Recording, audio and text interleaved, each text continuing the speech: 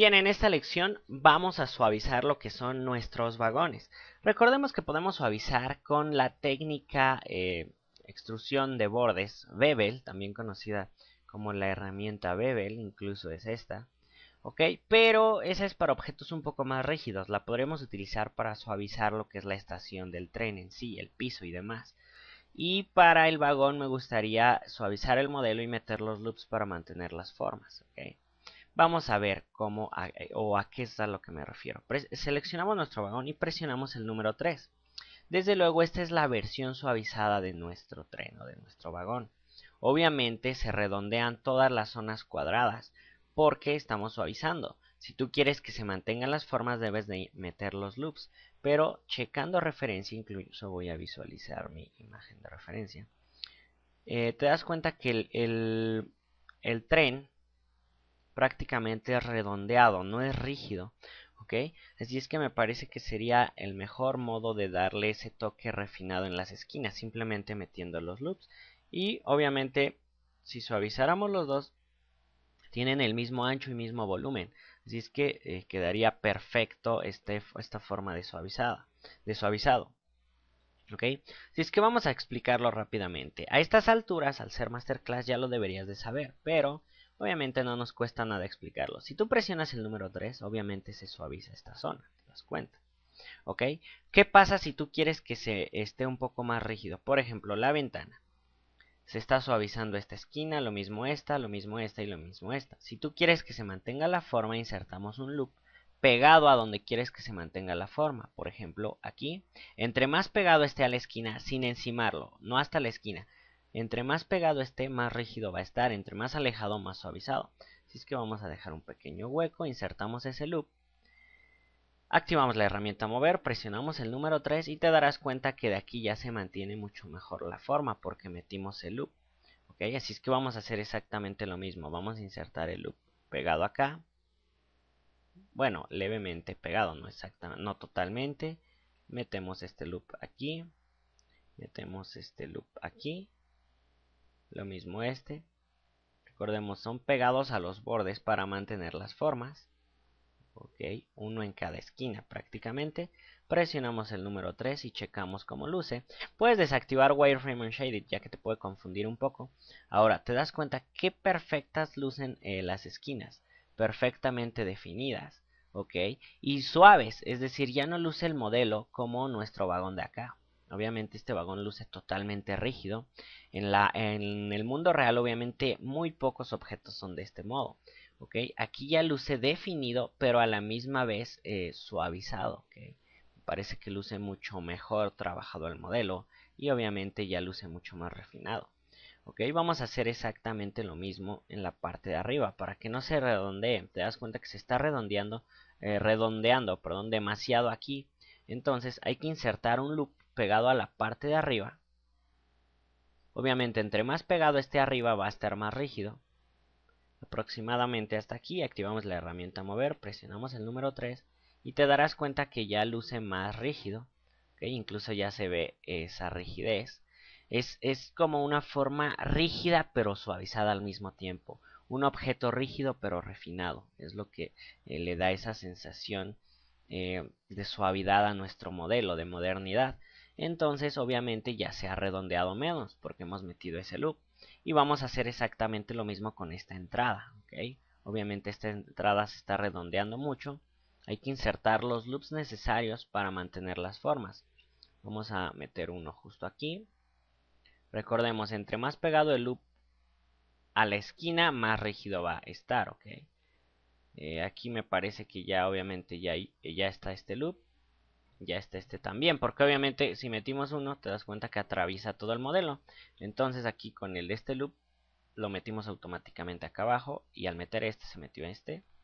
Ahora hay que meter un loop, eh, vamos a ver cómo, cómo eh, se visualiza hasta ahorita. Activamos la herramienta mover, presionamos el número 3 y checamos cómo luce nuestra entrada. Muchas veces los bordes se quedan seleccionados es un pequeño error de malla, los seleccionas, das un clic afuera y regresas a modo objeto para quitarlos de la selección.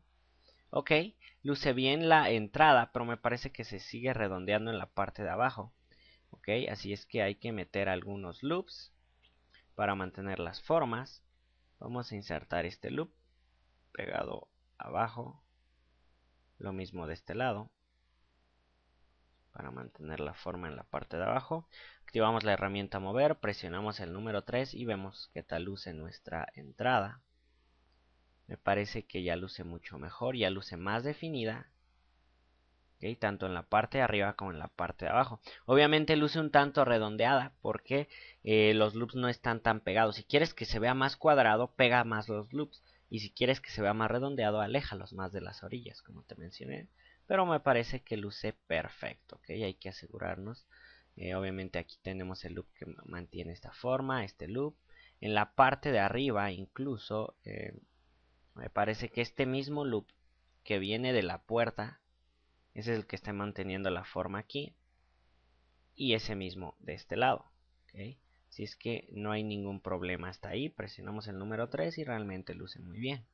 Ok, hasta aquí todo va perfecto. Ya tenemos la ventana, la entrada. Vamos obviamente a la ventana principal del vagón. Vamos a insertar los loops necesarios para mantener las formas. Sería uno pegado aquí. Te das cuenta que ese mismo ya rodeó hasta abajo, así es que ya también estaría de abajo. Vamos justo aquí. Aproximadamente a la misma distancia. Obviamente hay que insertar uno aquí.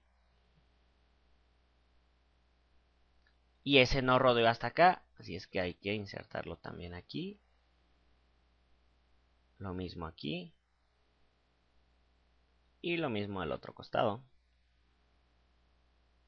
Activamos la herramienta mover, presionamos el número 3 y checamos eh, cómo luce. Eh, te repito, cuando veas tus modelos suavizados, eh, no los veas con wireframe unshaded porque te das cuenta que te vas a confundir. Es mejor verlos así.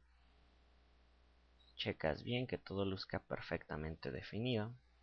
Y ahí están nuestras ventanas perfectamente definidas. Obviamente a nuestra ventana luce plana porque ya hay volumen aquí. Y esta ventana hay que darle volumen pero eh, lo importante nos estamos enfocando por ahora solo en el vagón que todo luzca bien definido vamos a la puerta sería exactamente lo mismo vamos a insertar un loop que mantenga la forma aquí obviamente ese loop ya rodeó hasta abajo vamos a hacer exactamente lo mismo aquí lo mismo, ese loop ya rodeó hasta abajo. Activamos la herramienta mover, presionamos el número 3 y checamos que todo luzca adecuadamente. Ok, me parece que todo luce perfectamente definido. Incluso ya está este loop, el de abajo, este de acá, lo mismo para acá, para en esta parte de abajo. Aquí podemos definirlo incluso un poquito mejor. Depende, todo depende si nos gusta esa redondez. Me parece que aquí está un poco más rígido que acá. Si es que hay que meter un loop aquí. Que mantenga la forma aquí. Ok, te das cuenta que de este lado ya lo tenemos. Por eso de este lado luce más rígido que de acá. Pero con este loop que hemos metido, ya lucirá mucho mejor. Ok, activamos la herramienta mover, presionamos el número 3. Y te das cuenta que ahora sí ya luce igual eh, de igual forma rígido o picudo aquí que de este lado. ¿ok? Y en la parte de abajo incluso me parece que luce correcto. Vamos a ver qué geometría tenemos. Podríamos meter incluso un loop más para mantener mejor las formas abajo. Vamos a meter uno justo aquí. Te das cuenta que ese loop prácticamente rodeó todo el modelo. Activamos la herramienta mover, presionamos el número 3, nos vamos a modo objeto te das cuenta que incluso ayudó a definir mucho mejor las formas. Y prácticamente tenemos a nuestro vagón suavizado y refinado. ¿ok? hemos eh, mantenido formas rígidas pero refinadas. ¿ok? Prácticamente luce correcto.